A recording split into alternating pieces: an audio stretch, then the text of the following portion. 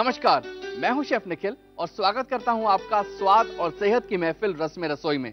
आज हम सेहत की बात कर रहे हैं तो मैं आपको बताना चाहूँगा कि हमें ब्रेकफास्ट यानी कि नाश्ता, भरपेट करना चाहिए।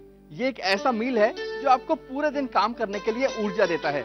और अगर आप वेट कॉन्शियस हैं तो साउथ इंडियन ब्रेकफास्ट सिर्फ़ आप ही के लिए है, क्योंकि जहाँ ये पूरा पेट भरता है, साथ ही में न्यूट्रिशियस भी होता है और बहुत ही आसानी से बन भी जाता है। शुरुआत करते हैं अपम विद स्ट्यू से। इसके लिए हमें चाहिए कोकोनट मिल्क, यानी नारियल का दूध, हमारे पास है यहाँ पर आलू कुक राइस, पहले ही हमने उबाल लिए हैं। हमारे पास यहाँ पर कुछ कच्चे चावल भी हैं। कटी हुई प्याज, बारीक, गाजर, बीन्स, फूल गोभी, हमारे पास है यहाँ पर दालचीनी, लौंग, पिसी हुई काली मिर्च, नारियल, नमक है, इलायची पाउडर है, यहाँ पर थोड़ा सा हमारे पास कॉर्नफ्लावर है, और हमारे पास है यहाँ पर ईस्ट तो चलिए शुरुआत करते हैं इसकी। सबसे पहले हमें एक ग्राइंडर चाहिए। तो अभी हम बनाने जा रहे हैं अप्पम के लिए बैटर। तो इसके लिए सबसे पहले हम डालेंगे चावल। भिगोए हुए चावल जो है हमारे पास, इसको डाल देते हैं करीब आधा कटोरी चावल है हमारे पास यहाँ पर।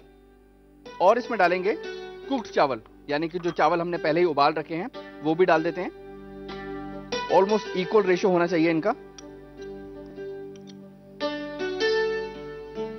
अब हम इसमें डालते हैं नमक।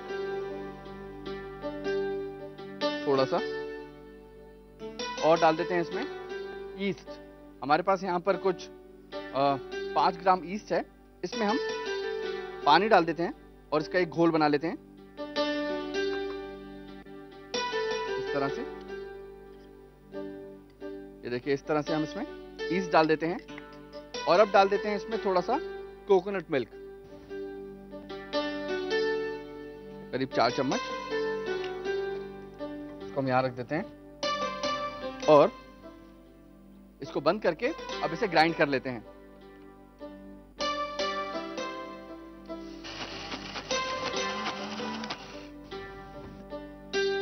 ये देखिए, इस तरह से हमारे पास एकदम स्मूथ पेस्ट आ जाएगा। इसे हम एक बोल में डाल देते हैं।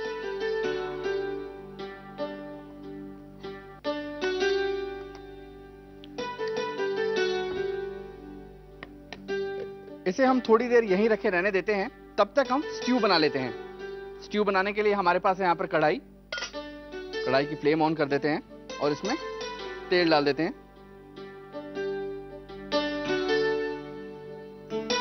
करीब एक बड़ा चम्मच हमने इसमें तेल डाल दिया। तेल गर्म होते ही सबसे पहले इसमें डालेंगे दालचीनी, करीब दो टुकड़े,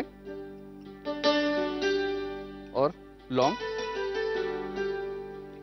तो देखिए, अब ये दालचीनी और लौंग क्रैकल होने लग गया है। अब इसमें डालते हैं प्याज। हमारे पास यहाँ पर दो मीडियम प्याज हैं, जो हमने बारीक काट रखी हैं, वो डाल लेते हैं। इसे हम अच्छी तरह भून लेंगे, जब तक ये एकदम ट्रांसपेरेंट नहीं हो जाती। तो देखिए, प्याज पिंक हो चुकी है ट्रांसपेरेंट हो चुकी है। अब इसमें डालते हैं ये सब्ज़ियाँ। सबसे पहले डालते हैं इसमें आलू। थोड़ी थोड़ी सब्ज़ियाँ डालेंगे, डिपेंड करता है आप कितना स्ट्यू बनाना चाहते हैं। और सब्जियों को हमने पहले ही ब्लांच कर लिया है।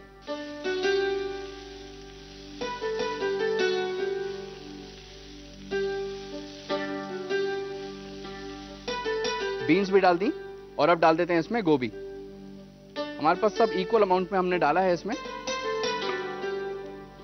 और इसे अब अच्छी तरह मिक्स कर लेते हैं। अब इसमें डाल देते हैं सीजनिंग यानी कि नमक। स्वादानुसार।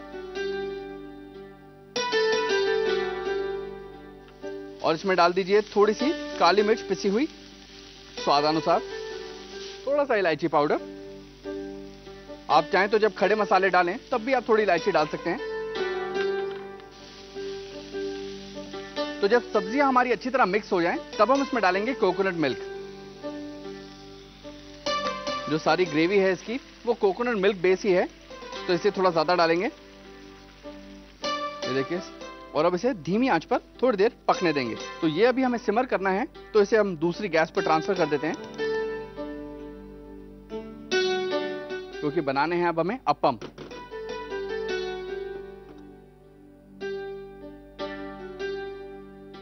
ज़रूरी है कि ये पैन अच्छी तरह गर्म हो जाए, नहीं तो जो भी बैटर हम इस पर डालेंगे, वो इसके ऊपर चिपक जाएगा और अच्छी तरह निकल नहीं पाएगा। तो अब ये पैन स्ट्यू का, यहाँ पर रख देते हैं। अब ये पैन अच्छी तरह गर्म हो चुका है तो इसकी फ्लेम ऑफ़ कर देते हैं। और अब इस बैटर को इस पैन पर डाल देते हैं। ज़्यादा नहीं, बस इतना। और फिर हम इसे जल्दी से एक शेप दे देंगे, इस तरह की,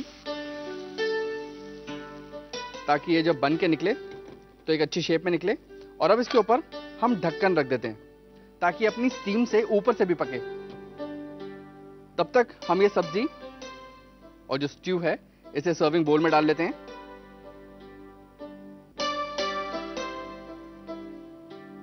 इस तरह से। और इसके ऊपर थोड़ा सा ग्रेटेड कोकोनट डाल देते हैं। चेक करते हैं अपम ये देखिए रेडी है।